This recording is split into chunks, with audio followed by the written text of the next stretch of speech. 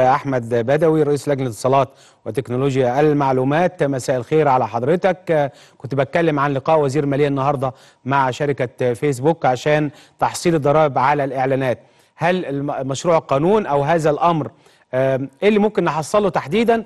وده ممكن يدخلنا قد إيه؟ وليه إحنا بادئين نطبق هذا الأمر الآن وليس قبل سنوات؟ طيب خليني أقول لحضرتك إن الموضوع ده من الموضوعات المهمة جدا مش بس يا أحمد بيه عشان تحصيل ضرائب من المعلن بس خليني بس لكن بعض قول يا فندم. بعض أنت عارف طبعا الصفحات التي تحرض على الشائعات والأكاذيب يحولوا كلامنا من فرض ضرائب على الفيسبوك لفرض ضرائب على مستخدمي فيسبوك. مم. لازم لازم نفرق يعني. كويس. طيب آه آه هذا الموضوع من الموضوعات المهمة جدا ويمكن آه آه قبل موضوع الضرائب خلينا أكد لحضرتك إن الإعلانات الوهمية اللي بيتم نشرها لدرجة إن الأمر وصل لحد آه بس صفحات على السوشيال ميديا أكثر من حوالي آه 2500 صفحة بتعلن عن أدوية للضغط والسكر والتخسيس. وعلاج للقولون. آه وهي مجهولة المصدر تماما. وإحنا عندنا حالة في المنصورة هقولها لحضرتك النهارده كنا بنتناقش فيها. آه لعروسه تناولت قبل فرحها بأسبوعين تناولت أعشاب للتخسيس أو دواء للتخسيس خدته من خلال ال social media ومن خلال هذه الصفحات وأصيبت بإغماء وتم نقلها المستشفى وتبان إن هذه الصفحة مجهولة المصدر ولم نصل إلى أو لم يتم الوصول إلى مين اللي عامل هذه الصفحة.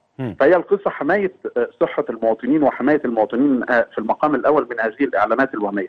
لذلك إحنا يمكن طالبنا الحكومة مؤخرا قبل نهاية الفصل التشريعي بإن إحنا يسلمونا مشروع قانون المعاملات الإلكترونية والمعروف اعلاميا بالتجارة الإلكترونية. ويمكن أنا تحدثت مع سيد وزير الماليه في العديد من اللقاءات بوضع معايير ووضع ضوابط ويمكن السيد عمرو طلعت وزير الاتصالات وتكنولوجيا المعلومات كنا بنتحدث أيضا بالأمس عن هذا القانون. إن شاء الله هيكون عندنا في بداية نوفمبر القادم قانون المعاملات الإلكترونية اللي هو التجارة الإلكترونية لتنظيم هذه الإعلانات على السوشيال ميديا.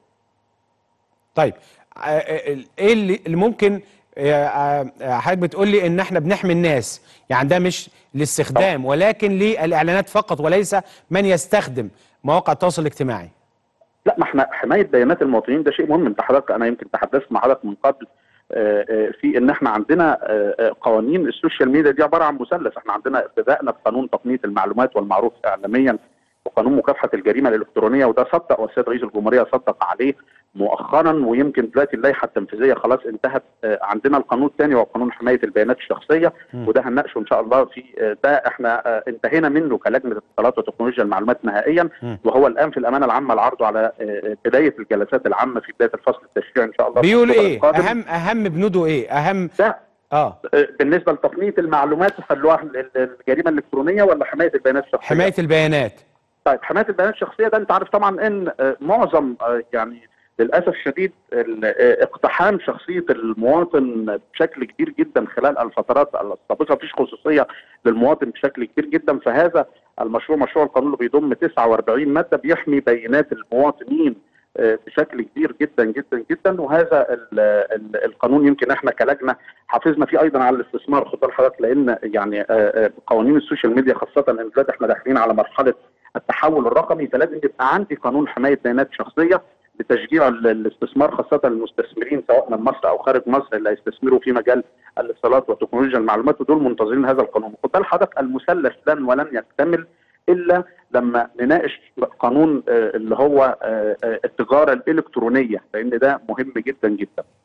اللي هو المعاملات الإلكترونية. لا سيادة النائب لو أنا النهارده بياناتي سين من الناس إيه الخطر انه مين اللي ياخد هذه البيانات يديها لأي جهة؟ يعني لو بيروح نقابة من النقابات مثلا عشان يدور على اسم أحمد مثلا. هل ده يعتبر خصوصية؟ انه حد في نقابة ما أو في جهة ما يدي بيانات شخص من غير إذنه دي جريمة؟